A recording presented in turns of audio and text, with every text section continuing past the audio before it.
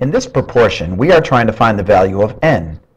We should remember that when two fractions or ratios are set equal to each other, when you cross multiply, you should come up with the same number.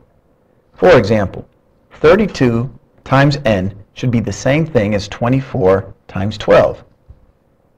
So let's set up an algebraic equation expressing this fact.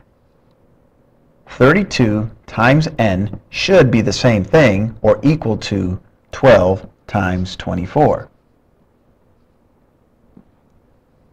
Now, all we have to do to figure out what n is, is to solve for n or isolate the variable of n. So what we're going to do is we're going to take the left-hand side of our equal sign and we are going to divide 32 by itself. In doing so, that is going to give us positive 1 or positive 1n on the left-hand side of our equation. But to balance our equation, we are also going to divide the right-hand side of our equation by 32 as well. Now notice for the numerator, or 12 times 24, I did not multiply them together.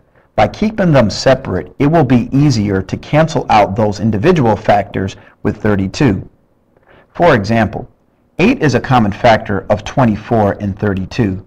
So I'm going to cancel the 24 and 32 together and divide both of them by the common factor of 8. 8 can be divided into 24 three times, and 8 can be divided into 32 four times. We can cancel even further by dividing 4 into itself once and 4 into 12 three times. This leaves us with 3 times 3 at the top, which gives us 9, and on the bottom we have 1 times 1, which is 1. And of course, 9 over 1 is an improper fraction, and that can be simplified to 9 wholes.